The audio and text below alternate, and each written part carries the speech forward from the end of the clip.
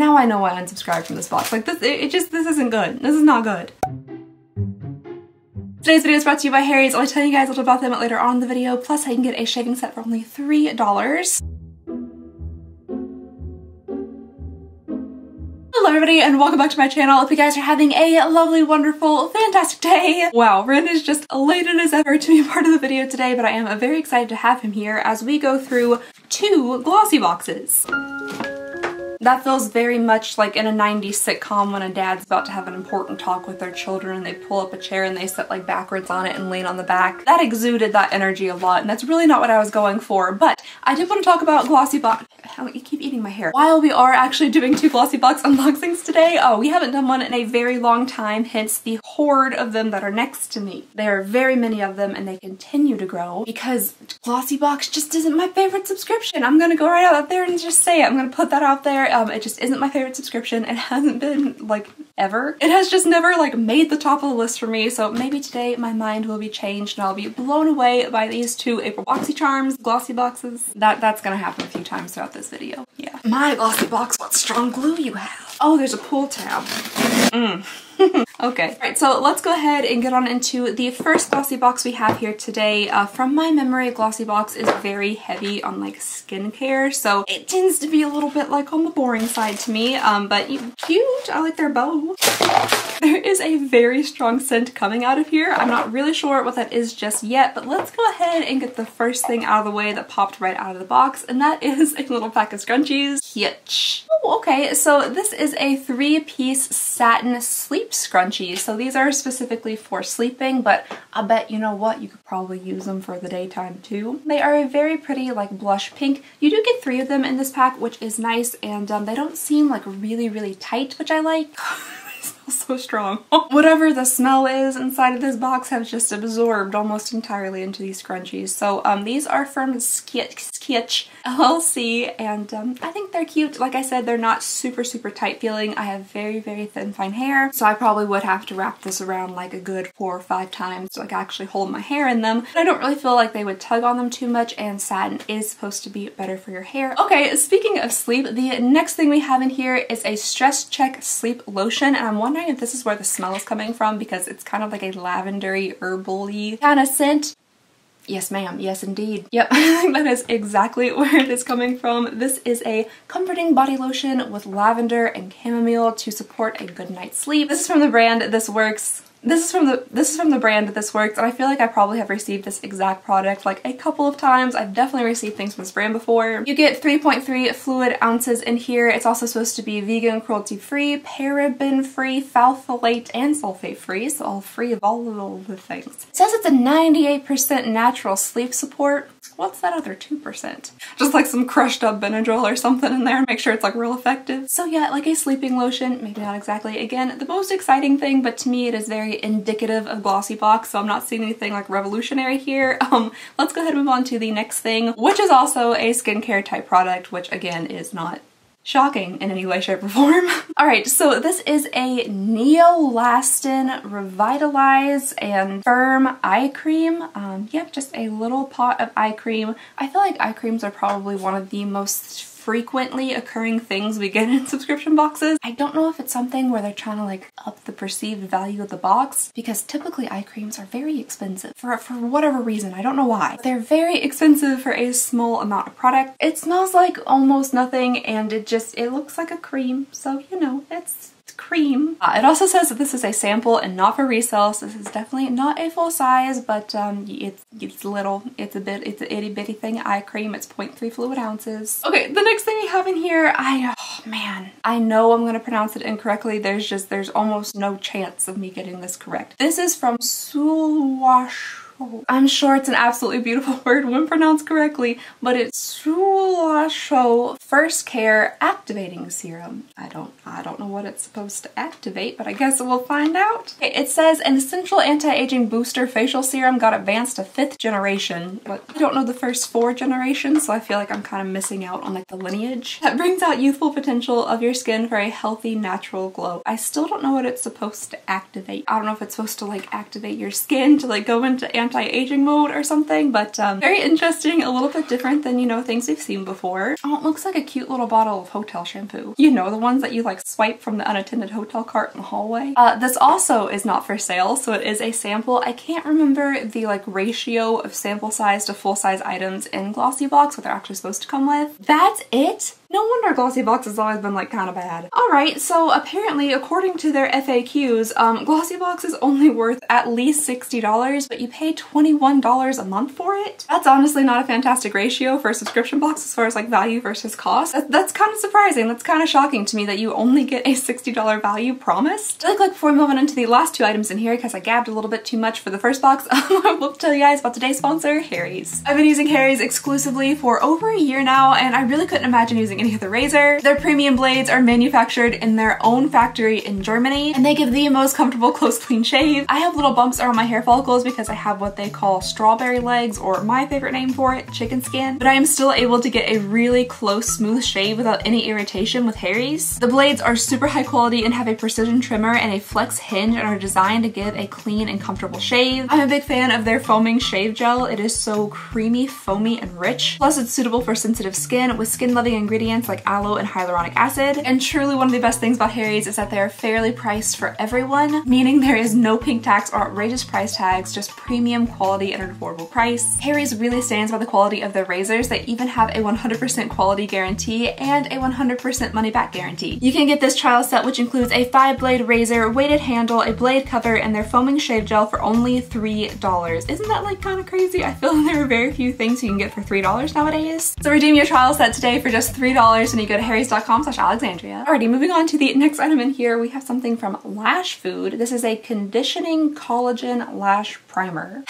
okay, so I, I don't know about this either. Apparently putting collagen like directly onto your skin topically doesn't really do anything, at least from what I've heard. So I don't really know about applying it topically to like your lashes your hair follicles, if that does anything. Oh, it's a mascara wand. I was expecting to see kind of like a serum wand, like a serum that you put on, but nope, it's just a mascara wand. So I guess this is just a primer that you put on before you apply mascara. It sure does smell like mascara. Flonase for days, ma'am. And then finally, the last item inside of here is from Laritzi, even though again, you have to like national treasure because you can barely see it.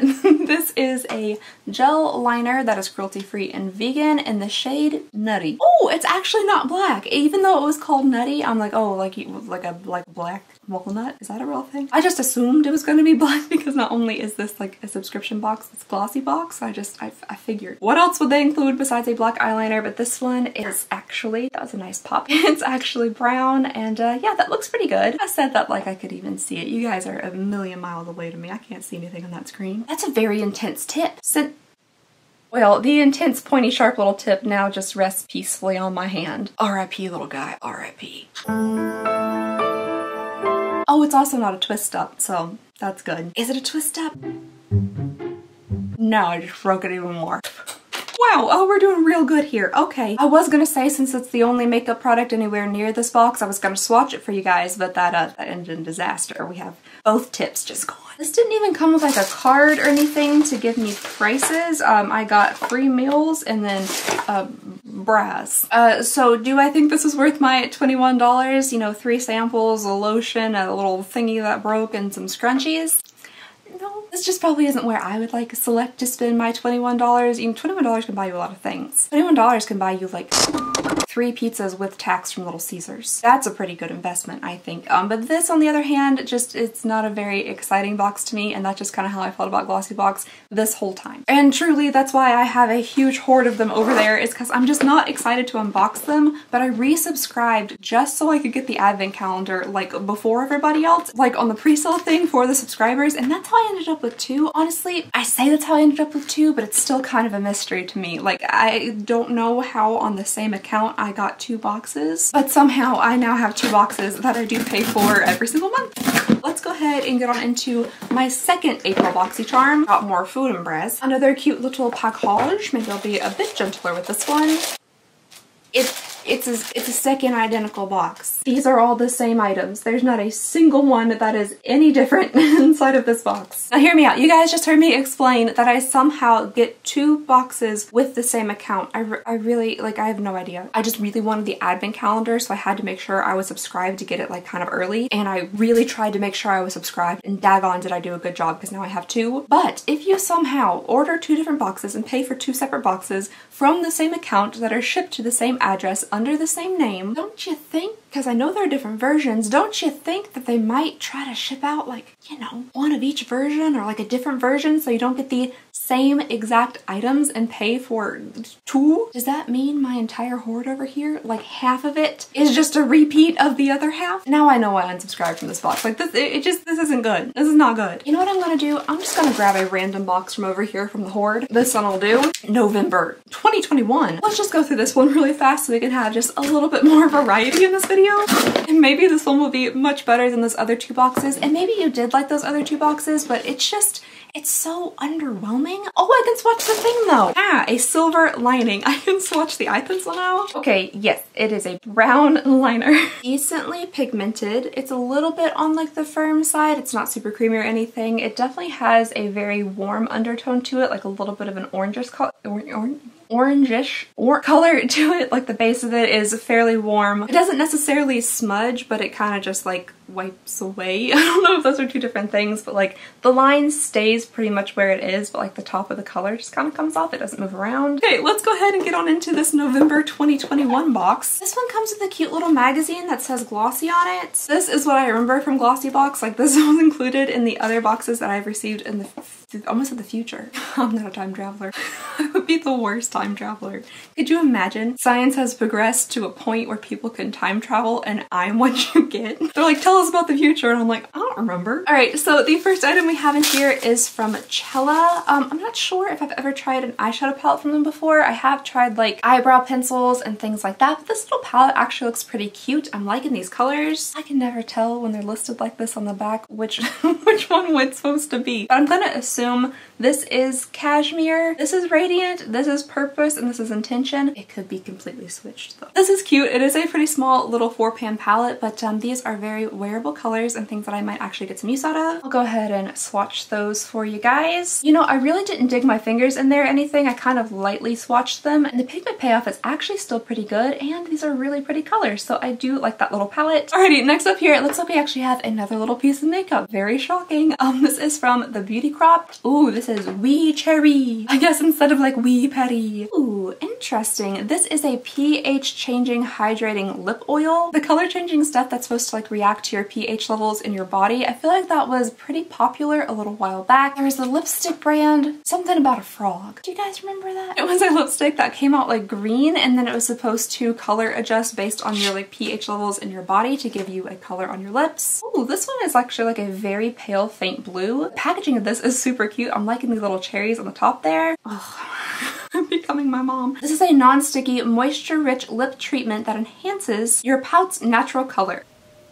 That's the tornado siren. Okay, Renzi, time to go to the closet. Okay, I think we're all good. It should just be a thunderstorm warning. We've just had like a lot of tornadoes and severe weather recently in my area, so I'm, I get a little bit anxious. And I don't have a basement in my house, so like the whole family just goes into the master closet until, you know, things uh, clear up. So anyway, I think we're fine. I think it is just a thunderstorm warning, but uh, you, can, you can never be too safe. I do want to go ahead and give this lip oil a try. I like lip oils, and I like that there's some like weird kind of funky science stuff happening with it. So um, I'm gonna wipe off the cap chapstick that I have on right now. It's like a tinted Burt's Bees chapstick. And then I'll go ahead and put on this oil and we'll see if there's any difference. Maybe I could do like half. It's already turning pinker. Listen, I have no idea if this is like actually reacting with the pH of my body and like turning a specific color to my pH, but um, it's kind of fun that it gets like light blue and then turns pink. I feel like the spot where it sat the longest where I first put it on is darker pink than the rest of my lips. Um, it is kind of a vibrant pink for me. If I were picking out like an actual color for myself, I'd probably go with something a little bit less pink, but I really don't mind it and feels pretty good on the lips as well. It's really smooth. It doesn't feel super like oily oily, just really smooth. the next item in here is from Figs and Rouge. It is a satin soft blurring primer. Again, we've been receiving a ton of primers recently. Um, this one's pretty though. I like the uh, pale pink packaging with like the gold accents. I think that's nice. Oh, it also says this is a finishing fix. I don't know what a finishing fix is. That's a little bit different for me. I can tell you guys that again, it's about, it's about halfway full. I don't know if there's something where like there's a standard where you have to have so much air in something to be able to sell it. You know, if like the government's saying like that has to be 50% air before you're allowed to sell it on market or there's like some reason why most of these things come half full. Okay, so the finishing part of it just says it absorbs excess for a sheer matte correction and then it fixes foundation to keep complexion freshly flaw flaw flawless. When it said finishing fix, I was wondering if there's like something about this that allowed you to apply it you know, over top of your, your makeup to like fix your finish, you know, to like absorb oil or something like that. Um, but that doesn't really make sense now that I think about it.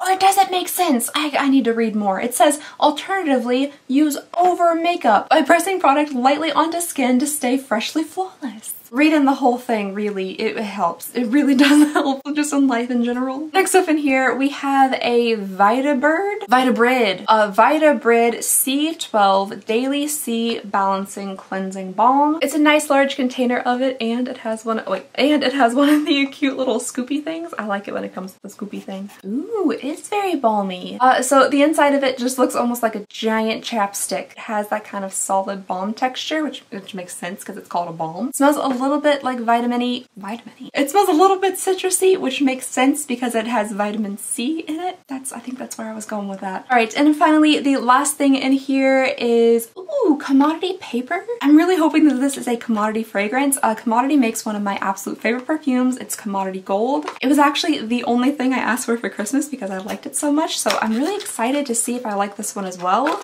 Okay, I don't think I'm gonna like this one nearly as well. The Commodity Gold is like a super, super strong vanilla scent and I, just, I really like it. This one is a bit more pungent.